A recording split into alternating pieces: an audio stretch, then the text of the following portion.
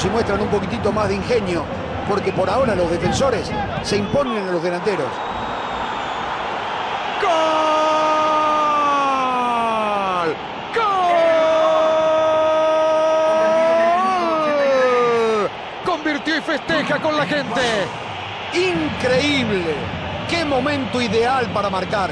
Seguramente estamos ante el gol de la victoria.